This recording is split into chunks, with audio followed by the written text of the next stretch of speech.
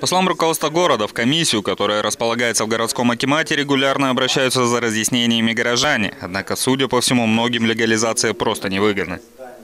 По вопросу легализации ежедневно у нас обращаются от 10 до 15 человек, в среднем за данный период около 180 человек прошло.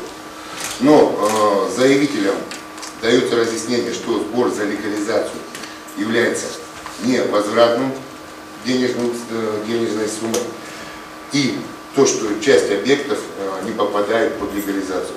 Еще раз подчеркиваю, в связи с чем э, всего лишь одно заявление э, в настоящее время принято в комиссию.